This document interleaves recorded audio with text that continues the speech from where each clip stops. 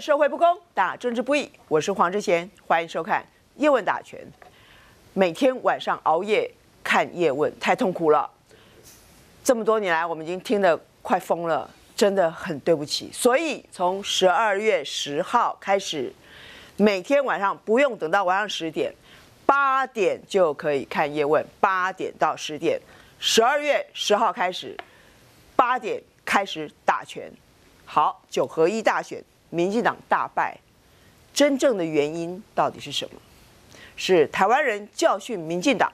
哎，那二零一四年、二零一六年台湾人不是才刚教训过国民党吗？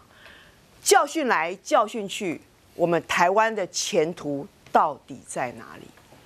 一年一年左一年右一年，王小二会不会过年一年不如一年？到底我们台湾人？有没有把心想清楚？我们到底要什么？台湾人到底要什么？九二共识是台湾跟大陆的通关密语吗？这个通关密语到底什么意思？竟然有个民调，台湾人其实不知道九二共识是是三明挖沟呢？九二共识，台湾跟大陆就可以和好？那九二共识到底是什么？这么多年来，台湾人没有人搞懂过，没有人在乎，因为不要，因为民党告诉你大陆很可怕，还中共吼要并吞台湾，所以中国是外国。那国民党有告诉我们到底九二共识是什么吗？国民党有告诉我们，我们台湾人究竟是不是中国人吗？马英九执政八年，有没有像我黄之前一样？动不动告诉你说台湾人就是中国人，我们就是中国人，中华民国就是中国。你这个东西搞不清楚，你怎么往前走呢？如果我不知道我爸爸妈妈是谁，我不知道我的名字是什么，我们怎么在这里生活下去？台湾的机会，台湾的前途，会不会在我们一年又一年的选举里面被我们玩掉？今天跟我们一起打拳的董哥董志森，大家晚安。中国时报社长王峰，各位朋友，大家好。资深媒体人郑世成，之前各位观众朋友晚安。国家与国际事务专家赖月谦，主持人好，观众朋友大家好。前立法委员朱高正，大家好。国民党文传会副主委黄子哲，主持人好，观众朋友大家好。新党文宣会副主委林明正，主持人好，大家好。好，现在台湾最重要的几个字，当然一个是韩国瑜，另外一个是韩国瑜的漂亮女儿，另外一个是最重要的是。拼经济，OK，从北到南，从东到西，人人想要拼经济。大家不管是国民党、民进党、蓝绿，都立刻从选票这样血淋淋的数字上面看到老百姓想要赚钱，想要过好日子。自古以来，你能够让老百姓吃饱饭，过上好日子，你这个政权才可能稳。可是要。怎么拼经济？民党的问题当然是他没有专家，他不重视专业，他只为了颜色才给位给位置。但更重要的是，他两岸关系摆不正，他台湾这个他台湾到底什么东西？他就是乱搞，那当然就没有办法拼经济。好，现在要拼经济，要怎么个拼法？今天我们好好的讲清楚。先听听看。韩国瑜在联合记者会讲经济。我前两天是一手集团的，也要扩大投资几百亿，那他们就是看好高雄嘛？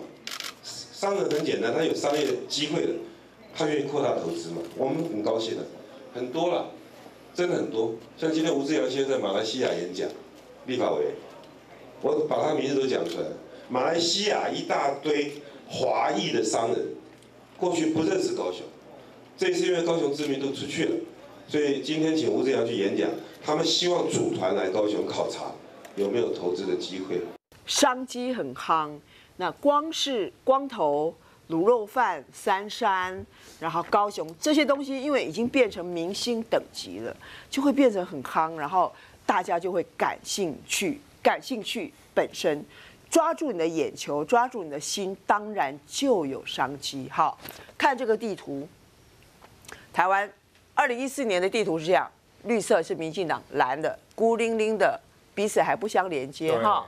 然后二零一八变这样子，台台北市是无党的，其他蓝绿瓜分，但是绿的反而不相连接了，只有这两个勉强抱在一起，其他都孤零零的。可是头还是民进党的蔡英文，所以二零一八年的台湾变成一个很吊诡的，就是绿色的头，蓝色的身体。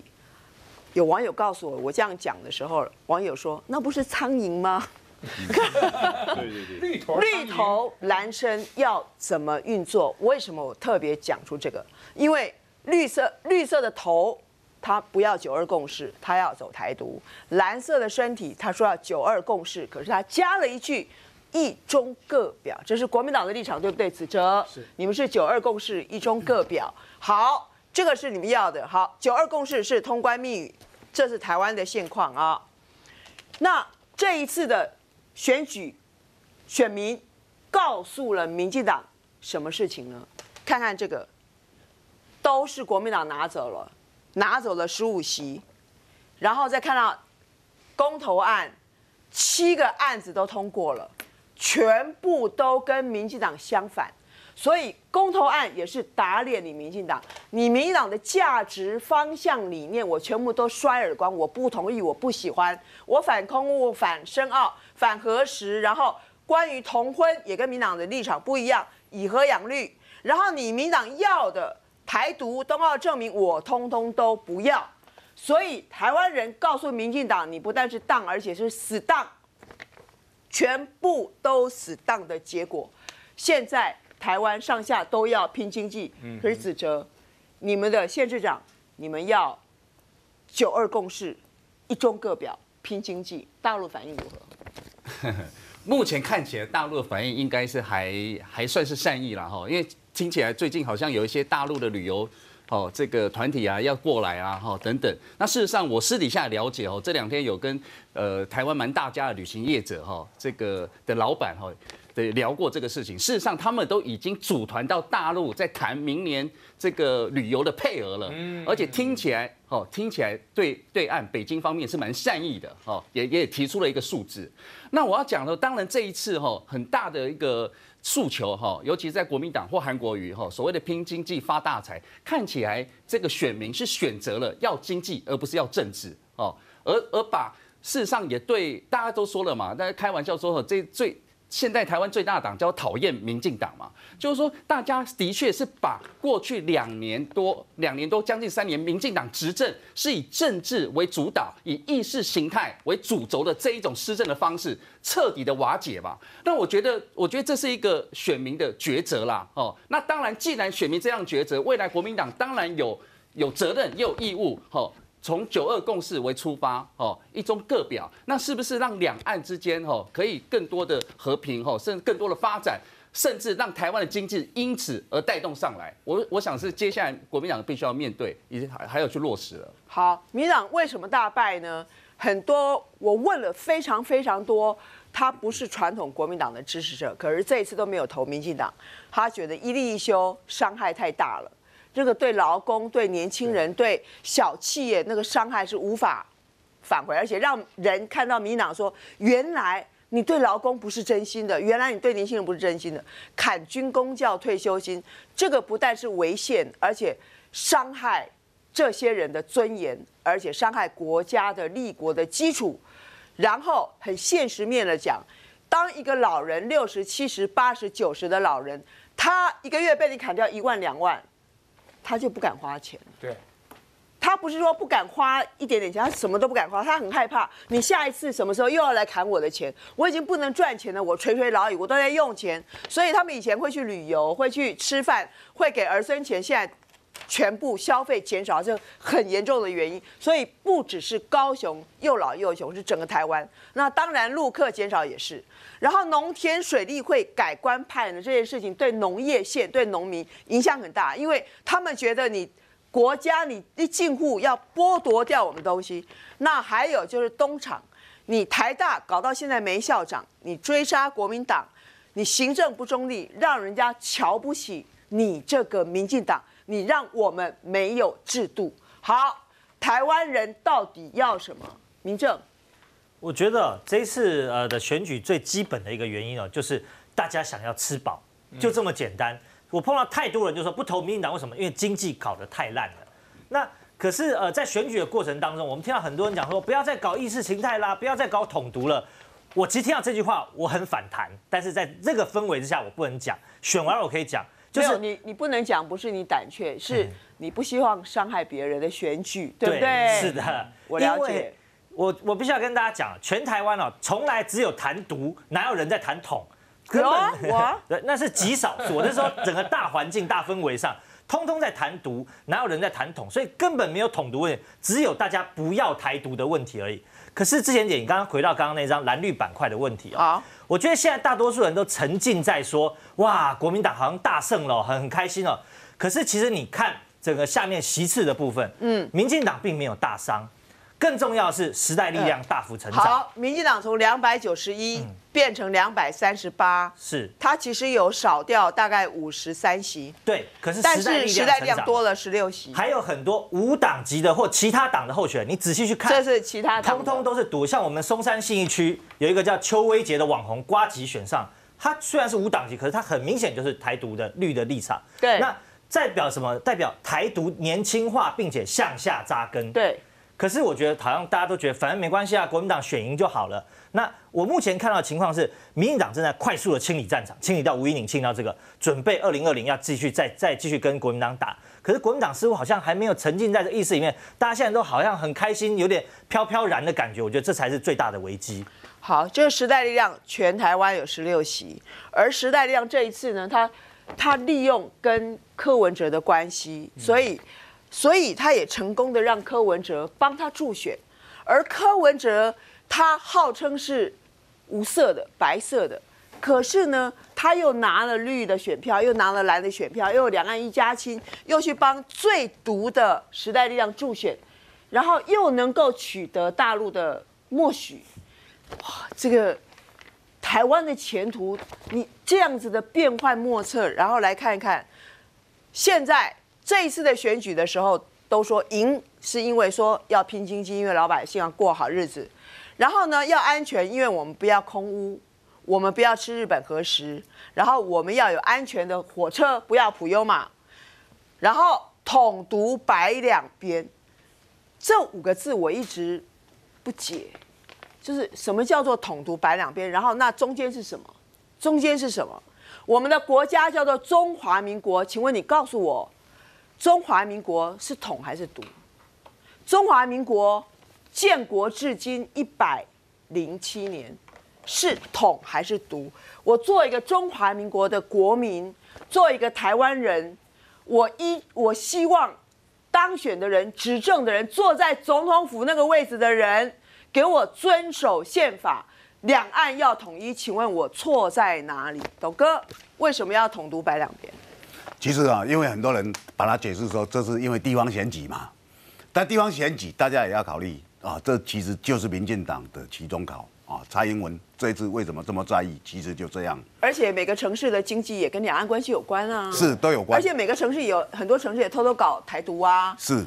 对啊，像新竹市长啊，就像刚刚林明正所讲的，很多人喜欢说啊，统独、蓝绿二斗、统独什么征婚啊，什么讲那些其实都没有用啊。哦，台湾其实真正有这样的意思，哦，那这意思很多人觉得说对他不利，他在选举里面不要讲出来。可是最影响台台湾的其实就是统独，哦，它关键在这里。这个我们所讲的九二共识，讲一个中国各自表述，所有这些用语，它其实最后面深层的意义就是统独嘛。台湾搞了三十年，混不出一个名堂，不就是因为现在台独的意识泥淖里面吗？这三十年来是。统派节节败退，是独派声浪越来越高。台湾还有统派吗？除了在这个 这个摄影棚里面的几个人以外，而且你从教科书、从法律啊各种里面，他真是节节败退。那其我们其实可以看到哦，现在老百姓有一有一些自自觉，就是说他已经可以看到了哦，将来两岸是走向统的哦，不只说我们常在强调的宪法，而是实际上它是走向这样。这是历史的必然。那过去为什么大家？讲话讲那么大声，是因为过去台湾的环境比大陆好，所以他只要用说你要你要你要把你所有去跟他搅一搅，然后再分分出来，你就穷了哦，因为他有十四亿人口，以前都用这个来讲嘛，那现在不是啊，现在因为他已经比你有钱了，现在大陆人不要跟台湾人分财产，是啊真现在大陆大陆吃亏。是啊，过去高雄哦，全球货柜吞吐量全球第三，现在变十五了，厦门还排名十四，厦门对。厦门在大陆还不是最主要的城市，对。所以所有东西一样一样的摊开的话，大家发现说，哦，过去的你所强调的那些骗人的东西诱因不在了，所以这一次的选举哦，很简单，你刚刚讲的要够好生活，不要空屋，不要核实，这是好生活，对。哦，要有好的经济，所以这这些东西龙总加起来的话，它其实是联合在一块的。它结合在一块的话，你就要考虑说，那大的方向统独要不要谈？要。小的方向经济，经济跟统独绑在一块啊。我们刚刚讲了这么多大陆观光客什么，这些都都是在里面的一部分啊。所以这一次选举以后，大家必须很深切的，将来我们就是要谈这一部分。未来尤其是大选，不能不谈。因为我知道，因为很多台湾人，其实两千三百万台湾人其实也不太知道什么叫统，也不知道什么叫独，也不知道什么叫九二共识，然后也不知道台湾跟大陆怎么相处。我们要大陆的观光客，当大陆十三亿人、十四亿同胞是把台湾人两千三百万人当成同胞，把台湾当成自己的国土、自己的领土，分裂的国家、分治的国家，是这样子的心情，一种情怀到台湾来，然后你把它当成邻国，你把它当成外国人，那他还要来吗？那这种情感，这是政治还是感情？历史是情感还是政治？其实我们来看看韩国瑜说，呃，要建立两岸工作小组，让高雄向海外辐射发展。其实他讲话其实都很小心，他没有用很政治性的语言。然后二十五号，李明珍他说赞成九二共识的主张，并会责成县府快速成立两岸工作小组。二十六号，卢秀燕说，九二共识是目前可以让经济好好发展的两岸共识。第二天，他说不必一直把九二共识挂嘴上，也不会成立两岸小组。所以，石成，这么说吧，我我最近在大陆头条，我我我我有进去大陆头条，然后我有个粉丝，他说，那个他跟我说，他常常在中视在这边看我的节目，他说呢，你是中华好儿女，我是公司的董事长，我员工有三千人。你你你是要地履历表是不是？呃，我想去当董事长，不是啊。我说他们只要你认同你是中国人，其实他们的经济实力是很强的。这个只是粉丝，因为可能之前粉丝比我更多。我觉得大陆这种大老板很多很多。然后我去我我去那去那个大陆的网站，他问你说，他常问我第一个是韩国瑜承不承认九二共识？我说他当然承认。所以你知道吗？自从他当选之后，上海的旅行社十二月的这这个旅行团已经排满了，要排到一月了。我认为，包括包括香港也是一样，你只要认同你是中国人，那到到高雄去，觉得特别的亲切。我我我这样讲好了，两岸是同属一个中国，那么两岸什么都可以谈。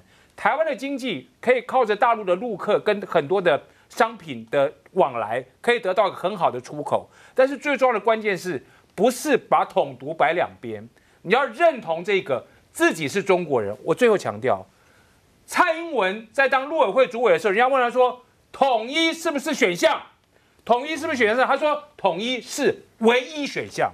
他还不是说统一是选项，还是唯一选项。这就是现在蔡英文呢、呃，那个报道要要注意一下，因为那个那个那个报道只有一份，没有别的。对，那个朱委员，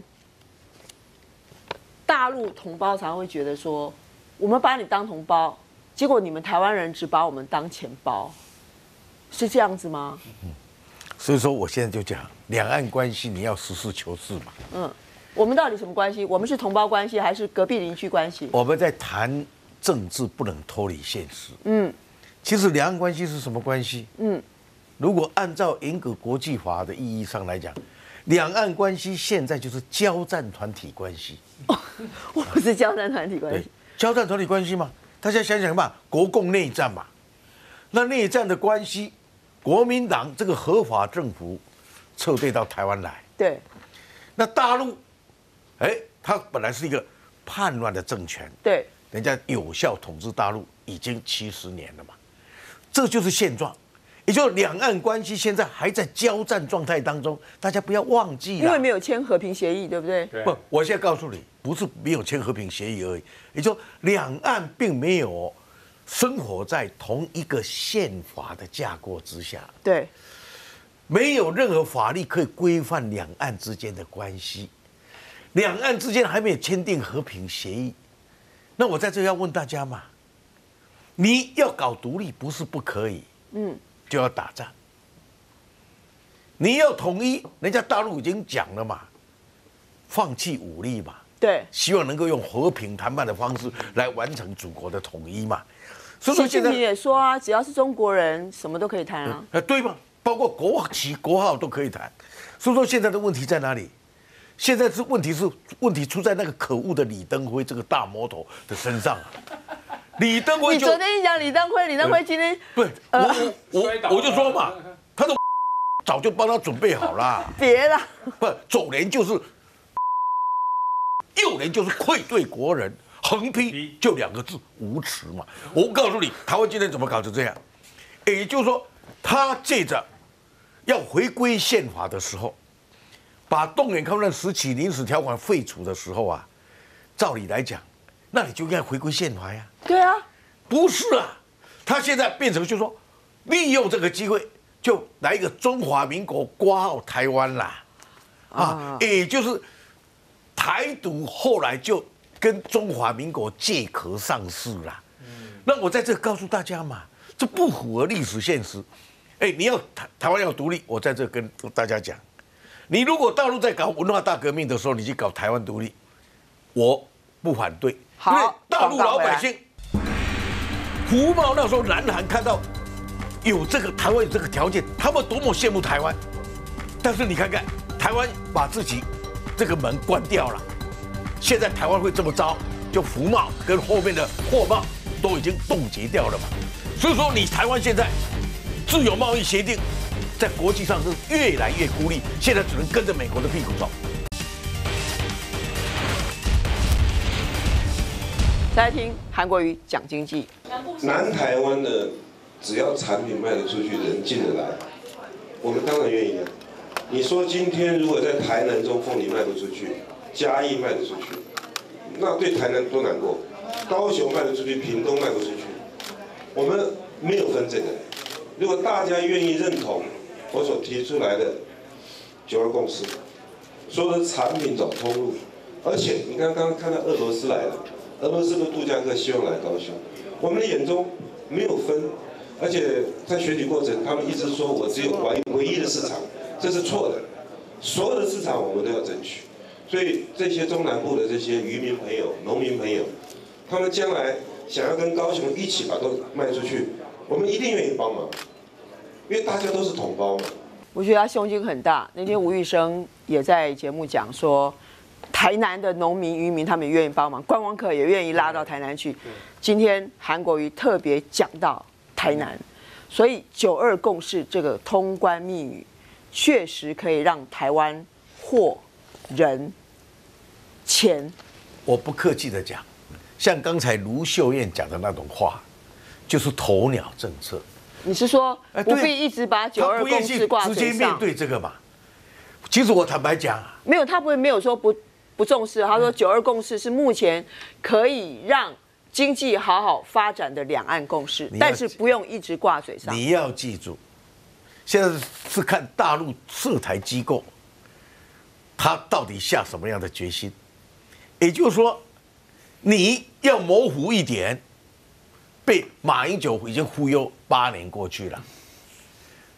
大陆的前提就是你要承认一个中国嘛，我们是自家人，我才愿意来帮你忙嘛。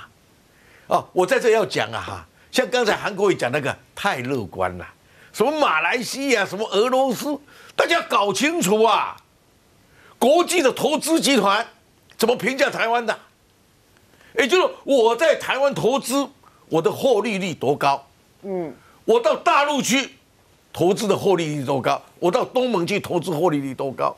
我就告诉你嘛，台湾今年，你台湾如果没有跟大陆大幅改善关系，人家借着你台湾做一个跳板进大陆的话，台湾有什么优点呢、对，所以说这是个最现实的问题。所以说现在啊，我发现国民党的这些县当新当选的县市长啊，其实不就是国民党那一家吗？他可没清楚啊，中李登辉的毒很重，你知道吗？中马英九的毒很重，他们就想说，哎呀，哦，表面上讲。我就承认九二共识，但是是经济的，不是政治的，有这样的吗？我在这里要讲嘛，我跟你讲哈、嗯，如果大陆看不到说我对你示出善意，不能在政治上换到说你承认我们都是中国人的话，那我告诉你，大家别心怀疑，那是短暂的啦。啊啊，我我我我我这样讲，不要把大陆当傻瓜，哈、哎，你只要解决你的问题，人家也要解决他的问题，大家要有良性互动啊，不能只要求对方付出，我们自己不付出啊。我在这里要问你嘛，就以福茂来讲嘛，嗯，当年福茂搞这个什么啊，这个学运的这些人懂个什么东西呀、福茂那时候南韩看到有这个台湾有这个条件，他们多么羡慕台湾。但是你看看，台湾把自己这个门关掉了，现在台湾会这么糟，就福茂跟后面的货贸都已经冻结掉了嘛。所以说，你台湾现在自由贸易协定在国际上是越来越孤立，现在只能跟着美国的屁股走。根本人家也不见得要让我们跟啊，所以王峰社长，其实福茂货贸就是台独老台独他们当时对大陆的最大的反扑，他们那时候很忧心，他们觉得福茂一签了，台湾整个跟大陆整合起来以后，台湾人会过上好日子。那你日子过得好，怎么会有台独呢？就完啦、所以非给他破掉不可。其实台湾的问题就是尚未思考，就是论述问题嘛。那孔子有一句有一句名言，就是“君子之德风，小人之德草”。所以政治家哈，他必须要有一种道德勇气啊，去改变庶民的思想啊，因为你是君子啊，你是君子，你就有这样的一个基本的一个基本的一个必必须要有的条件，你要去改变庶民的观念啊。哎，等一下，所以我要跟你讲，你看现在台湾的政治台面上的政治人物，有哪一个是像君子吗？对，在李登辉培养出来的，没有一个是像样的对东西呀、好好，好，所以我认为呢，政治家要解决根本的问题，那政客呢就头痛医头，脚痛医脚。那我是觉得哈，现在只谈经济不谈政治，短时间可以，但是呢，如如果时间拖到二零二零以后啊，我认为这样子的状况是没有办法应付错综复杂的国际跟两岸问题的。那另外呢，我认为啊，长期以来，就是二十二年七个月，李登辉加上陈水扁跟蔡英文的统治的过程当中，造成岛内啊论述的混乱，尤其是统派的这个论述啊，发生根本的一些质变啊，所以才会有刚刚所说的各个县市长对于所谓的九二共识的认知，或者是两岸的认知，好像各吹各的号的这样的一个问题。好，那现在根本解决之道，我觉得呢，现阶段至少要做到什么呢？九二共识啊，就是说九二共识你一定要承认。第二个就是说认同中国人啊，一个中国。其实一个中国，在我的在我的认知范围里面，就是当一个台湾地区的公民，你必须要有个基本的认识，就是我是中国人啊，就是一中原则，在我们老百姓来说，就是我是中国人啊，在整个国族认同上面来说，就是一个中国啊。那九二共识是一个什么样的概念呢？就是未来的谈判的基础，它是个未来的谈判的基础。然后认同是中国人的话，就是说我们现在要有强化国族认同的这样的一个认知。如果九二共识认同中国人这样的概念不存在的话，我认为二零二零是非常危险的。不光是岛内的危险，两岸关系的危险，国际架构的危险啊！所以现在如果说任何人他想要二零二零的大位的话，他必须首先九二共识，同时认同中国人，就是一中原则。好，十一月二十七日，赖清德被访问的时候，他说，他们这个他们就是各个县市长、蓝营县市长，他们要以九二共识和中国，你看称呼大陆称呼中国，这显然就是台独立场。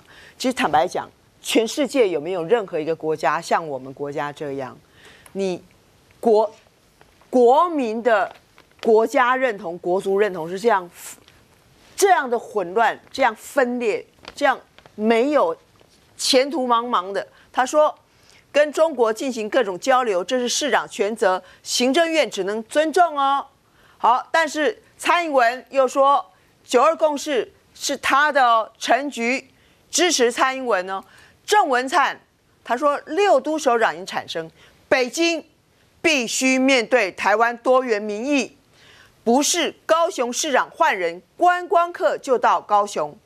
这种做法不对，应该两岸整体要朝更善意、更交流的方向走。对岸所设置的政治前提，应该寻找比较好的自我解套。他要大陆解套，他说你自己给自己套住了，你应该寻找比较好的自我解套。台湾是民主社会，对于这些政治前途前提并不接受。交流就是交流，不应该有蓝绿差别，也不应该附加任何政治条件。他认为九二共识是政治条件，而黄伟哲说，他接受访问的时候说，他不会搞意识形态对抗，他不排除排斥去大陆访问，但目前没有出访的计划。所以，老师，我我延续这个朱委员提的概念哈，我觉得呃，两岸如果是交战团体，就是国共内战的时候。我们是一国在争统治权，那也就是说，国共是在争统治权，那还是一国，那也就是我们都是中国人。嗯，这是国共内战。那现在国共内战由于经过几次的政权的移转，它变成这个民共的问题。那民进党主张的是台独，那民进党主张台独的话，那这个已经不再是一个一国的认同的问题了。他直接称对岸叫中国，表示我们不是中国。那就是他要脱离，要独立。这样的情形下的话，那就势必是就一战，也就是不能回避战争了。如果说我们承认一国，我们彼此之间有内战，那么也可以有停战，那么可以谈判，然后来做这个权力上的合理的安排。但是如果你要脱离的话，你不承认你是中国人的时候，那这个时候就势必一战，势必一战，那就用战争的方法来解决。台湾人真的要这样的一个方式吗？其实没有。民进党真的敢这样吗？也没有，不然的话，今天民进党完全执政了，那他为什么不敢宣布独立？因为他知道他根本做不到，他也不敢做。这是第一个。第二个，我就觉得说，目前国民党所提的啊“九二共识”“一中各表”，这是逻辑上的矛盾。嗯，有了一中各表，就不再有九二共识。对，这是一个完全相背离的东西，因为当时会创造出九二共识。是因为台湾这边我们主张我们是一个中国各自表述，大陆是说我们是一个中国原则，那彼此之间有相同的地方，也有争议的地方。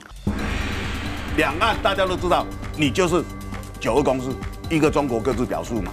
哦，那今天如果你不承认这个，那就没得谈，这是本来的。所以郑文灿讲了，这个只是替蔡英文啊在那边涂脂抹粉，他们知道是他们自己的改变。并不是对岸的改变嘛？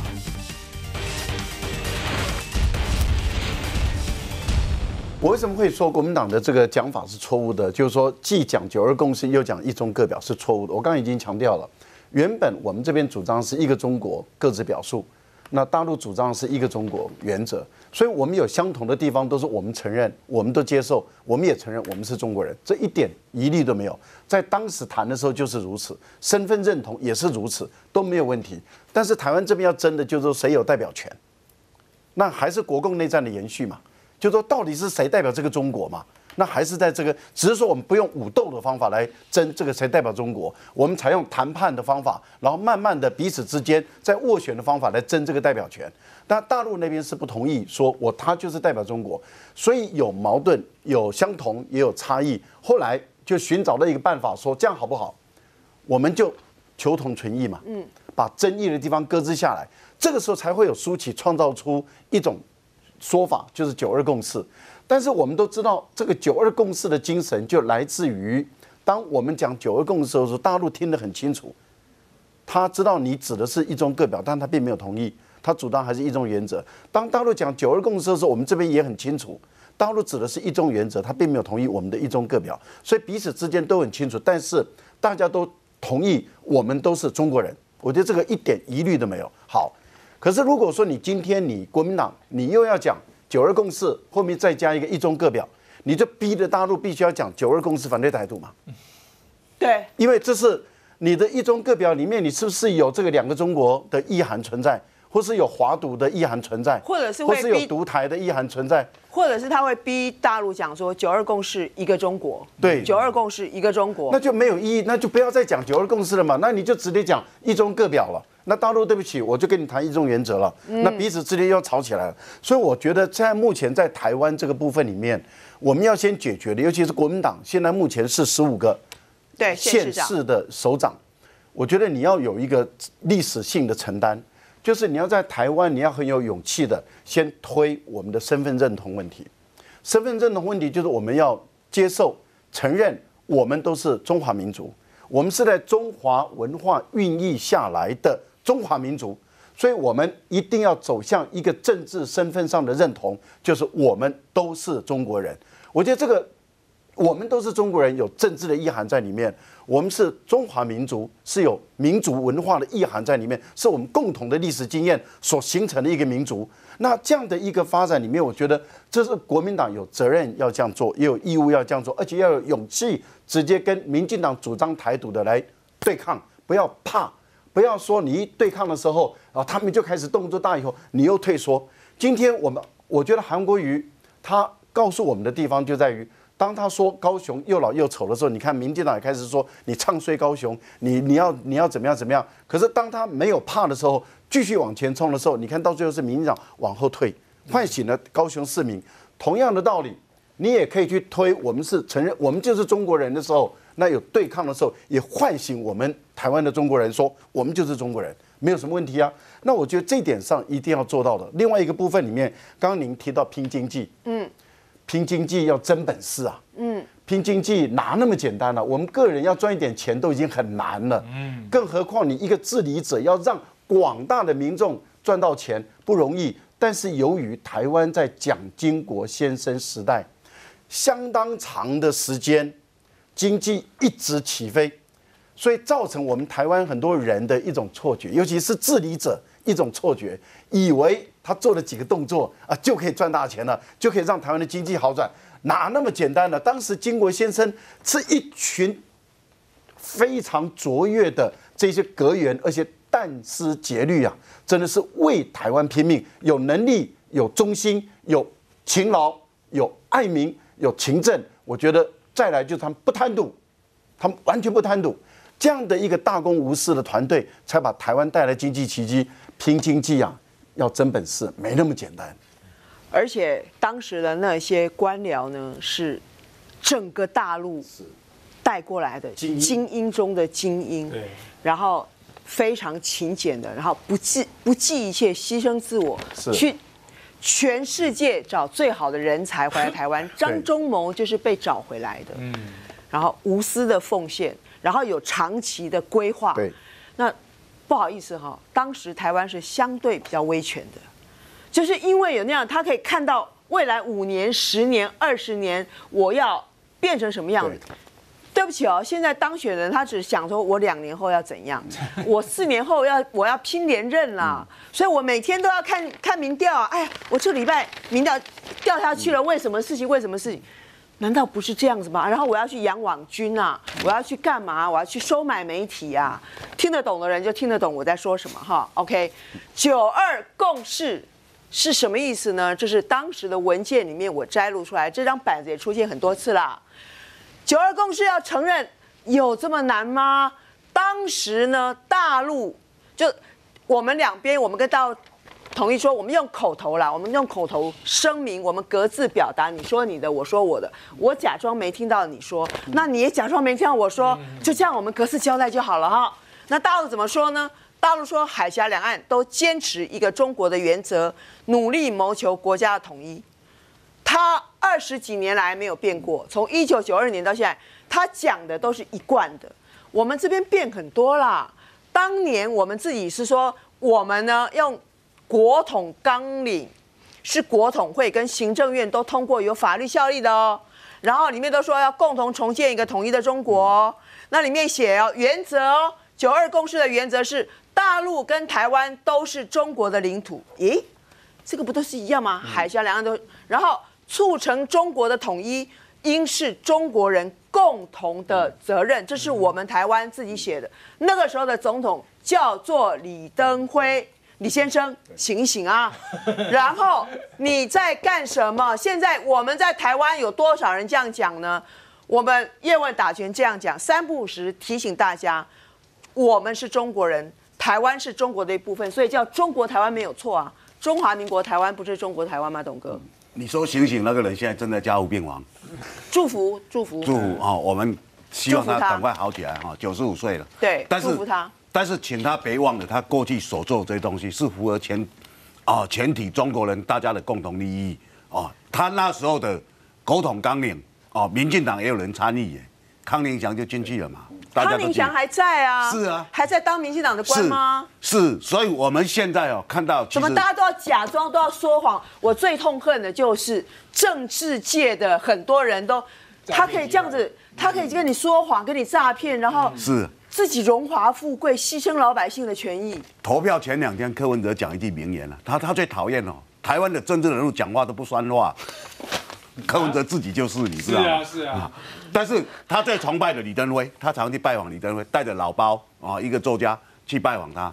他要去见陈水扁，这次陈水扁不见他哦。他崇拜的这些人都是讲话不算话的。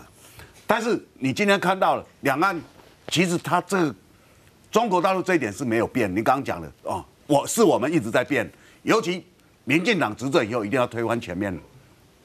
蔡英文这一次，他认为他会当选，那时候他对《天下》杂志的访问，他讲一句话，他说只要我当选哦，中国大陆就会改变。对，中国大陆很怕压错宝啊，对，哦，他们这次不会压错，压我就对了。结果人民投他，中国大陆有没有改变？还是没有改变。那他现在变成左之右错，他一直去改很多名词，他就是不要用“九二共识”这四个字。大家讲通关密语，它不是密语，因为每个人都知道的，不叫密语啊。芝麻开门，只有阿里巴巴知道，别人不知道啊。你说胡桃开门开不了，葡萄开门开不了，一定要芝麻开门。那全国每个人，两岸大家都知道，你就是九二共识，一个中国各自表述嘛。哦，那今天如果你不承认这个，那就没得谈，这是本来的。所以郑文灿讲了，这个只是替蔡英文哦在那边涂脂抹粉，他们知道是他们自己的改变，并不是对岸的改变嘛。所以，所以我们今天在讲国民党在各县市获得这样，我觉得这些县市应该大家联合起来。我们过去哦，那时候国民党最弱的时候，有八个县市都是比较实力比较不强的县市，记不记得？那那时候中央被民党执政以后，他们联合起来，其实也获得很好的回应。各位不相信，看看最弱势的台东就可以卖出五百吨的金钻凤梨，为什么？因为他承认嘛。承认到底是什么东西呢？赖清德他直接，其实民进党政府从上到下直接称呼对岸叫做中国，这个就是他们的政策，称呼对岸叫中国，意思是我们就不是中国人，而且他不准我们做中国人，因为你如果在台湾，你说你是中国人，你是要卖台吗？可是这个是什么意思？九二共识不就是你承认你是中国人？而且两岸必须追求统一。蔡英文，如果你不想讲九二共识，要怎么解套？你就讲两岸同属于中，其实就解套了。而我认为国民党必须要往前进，不能再讲说九二共识就是一中各表，因为九二共识的重点不在于一中各表，各表是回去你自己表述你自己。民政，其实这一次台湾选举的结果。很多外媒都把它解释成说，这是美国跟大陆在选举，结果是中国胜了。那很怪异的是，陆委会副主委邱垂正为什么在这个时候跑到美国去？是跟美国报告吗？他说九合一选举结果没有亲中问题。好，怎么看？我觉得，因为今天的民进党政府，他一切都是配合美国人的政策。其实他前面这种很激烈的反中什么这些行为，当然背后就是美国人给他撑腰，他才敢这样做嘛。那他们认为说，哎，没有亲中问题，不好意思啊。你以为在韩国瑜这个台子底下，那些摇着国旗说人进得来，货卖得出去，他们不知道人从哪里来，货要卖到哪里去吗？所有人都清楚得很，只是大家都不要讲破。可是民政他们承认自己是中国人吗？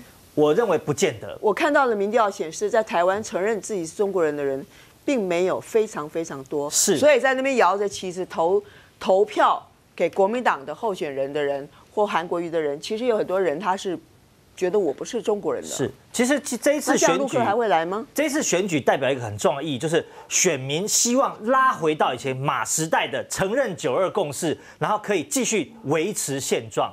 这也是为什么很多大陆网友到我的这个头条或什么上面留言，就说：“哎呀，台湾人又要来骗我们的钱了。”对就是希望呃透过就是说维持，其其实维持现状是一个骗人的话。他就是希望用中华民国或者九二共识包装起来，继续赚钱就好，而不谈不涉入政治谈判。可是九二共识到底是什么？结果我们才发现，原来台湾人都不知道什么是九二共识。九二共识的关键是什么？就是两岸同属一中。蔡英文，如果你不想讲九二共识，要怎么解套，你就讲两岸同属一中，其实就解套了。而我认为国民党必须要往前进，不能再讲说九二共识就是一中各表，因为九二共识的重点不在于一中各表，各表是回去你自己表述你自己。那在台湾最大问题就是国民党过度的强调各表，结果造成了两个中国，甚至是一中一台的一个问题哦。而真正九二共识的重点是两岸同属一中，请大家注意是两岸同属一中，不要再讲什么一中各表，没有一中各表。两岸同属一中，而且更重要的是要追求国家统一，要追求国家统一。当时我们两边都是这样协议的，这是一个协议，不可以推翻的协议。所以人家不相信台湾人呐、因为你自己讲的话、做的事都会改。